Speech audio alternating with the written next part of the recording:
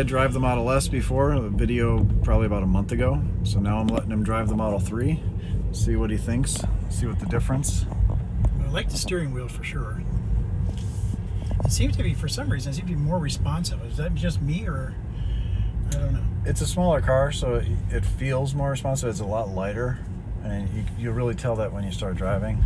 Although you drove the other car a month ago, so Yeah, so that, I don't remember. That's the, the other thing was the, the braking or the non-braking. That was the issue. Yeah, the regenerative braking. Uh, I have it on comfort. It can actually get tighter. This is fine. Actually, it's fun to drive.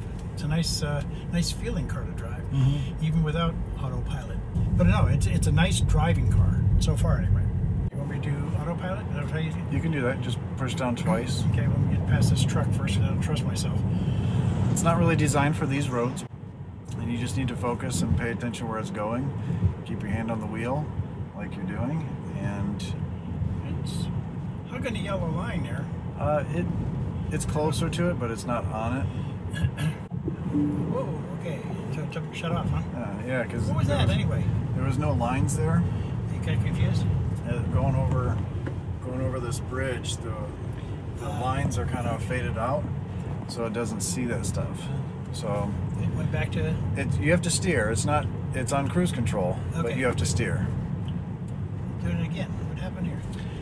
That's confusing. Yeah. Again, it's not designed for these side roads, so sometimes it gets confused. Like that big intersection or that, that intersection there, uh, it doesn't know what to do sometimes. Uh, And there's certain areas I've noticed that it will jam on the brakes quite a bit. And I have the the distance is pretty far.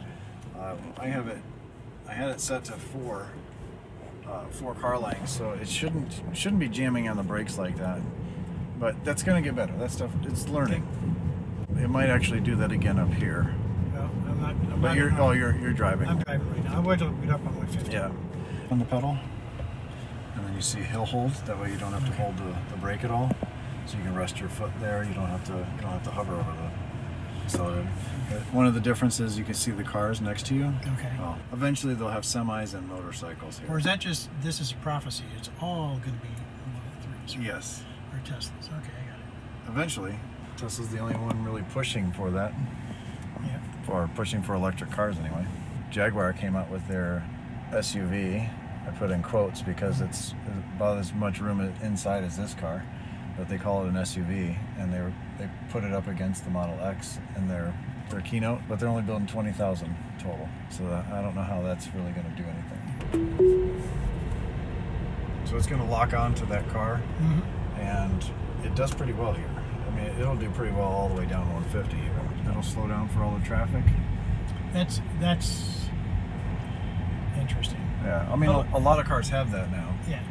but a lot of cars, a lot of other cars don't have it where it keeps you centered constantly. But that's what's nice about it. You can actually let go of the wheel in this slow traffic because you know nothing's going to really happen. It's going to brake for that car. Uh, it sees it. You can actually grab some water, take a sip without holding the wheel. You can, if, if it's like it's bright out today, you can, if you forgot your sunglasses, you can grab your sunglasses. Well, now since we stopped, it's not going to actually tell you to grab it. Maybe once we start moving again. It basically the computer realizes if that car is doing it, this car should be able to do it. And then with all the obstacles and all the sonars around, it puts all that together and makes an educated guess because it is still a beta. It's a guess. Mm-hmm. Now, if I hit the brake, it's take it off of. Yeah, it's, it'll be completely out of just like a like a. Yeah, just like any any car. And it, it'll be out of cruise control and everything. So even through this intersection, there's no lines. It's gonna keep following that car. It sees the berm over there, or the concrete barrier, and uh, it does really well. Take it over.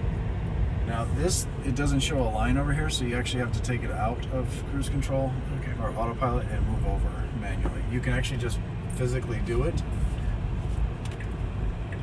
Yeah, slowly force the wheel. It, it won't be as a jerky of a thing, but if you give it a lot of torque at first, it stays in cruise control when you um, force it out of autopilot. Okay. So if you hit the brake, it'll, it's you driving, and then right here, since it opened up, it's going to try to get up to 50, so it's going to fly through. Raise through the, the Yeah, so you might want to. yeah, you don't want me to you don't want me to wreck your car. no.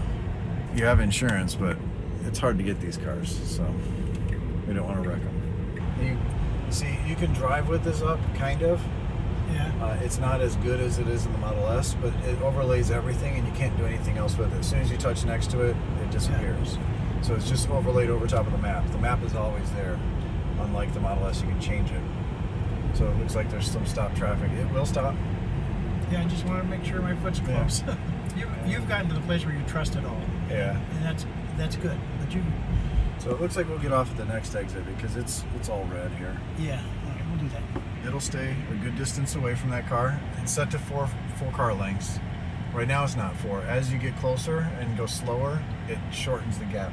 Otherwise, cars will be cutting in front of you all the time. hmm Uh, it's just once you get to speed, it's four car lengths away. When you're driving and you're on on, on, uh, you're on uh, cruise control, Mhm. and you step down on it and you go, it still is in cruise control, and when you let off, it takes it stops, goes back to where you were. Does this do that? Yeah, this will do that too.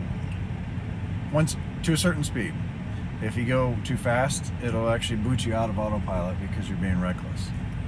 And then you have to actually stop the car, and get out of the car, and Okay. and then re, it reboots that way. It kind of puts you in timeout, autopilot timeout. When we turn, if no one's there, you can uh, you can give it a little throttle, give it the beans.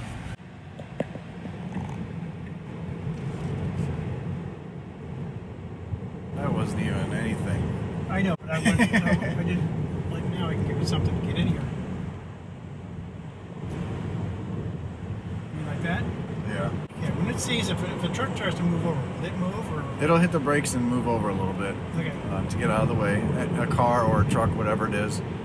There's videos of it online doing that, but it, it'll move itself over and then hit the brakes if it has to. This is where the auto lane change and a long exit will work. I'll tell you when to put a turn signal on. It'll notice the lane in a second. And once once it sees the line, there's the line, you can put the turn signal on. And it's actually gonna you do that or did the car do that? What's that? I did that Okay. because it was coming up too fast. Yeah, he was moving over on you. Yeah. But it'll it'll track this car and actually probably follow this car the whole time. It sh- it should slow itself down. And you see it slowing itself down there. Actually, hit the brake because these cars are stopped. There's a lot of cars here. That's wh- that's why you have to pay Pay attention. attention. Yeah. yeah. And that's when accidents can happen if you just let it do its thing because it's not fully baked yet. I mean, this is a beta. yeah. And if there was only a couple cars all the way up there, then it would have been fine. It would slow down. It would it would have changed the speed limit to 50, then 40, then 30, and then it would have saw a car and then come to a stop.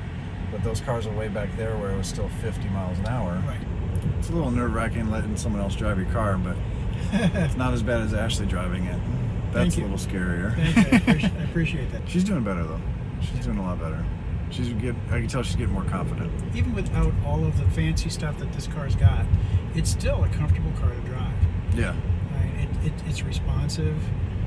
It, it, it's easy to drive, we should, say. It feels more nimble than the S. The S is heavier, and you can really tell the difference between Right, these two. right. I'll put the regenerative braking on low, so you can see the difference too when you when you come up to the light. I've actually never put it on low, but I'm used to the standard, so Okay, let's see. how they do. Oh, yeah. It's just like regular car coasting. yeah. So I think the Model Y will be perfect for you. Just up a little higher. Yeah. Is that what it's planning on being? It's going to be this car, but a little bit bigger, a little higher. Probably about the same amount of room, but probably more frunk space and trunk space. And a little less range, but uh, I, I think it'd be a perfect car for you.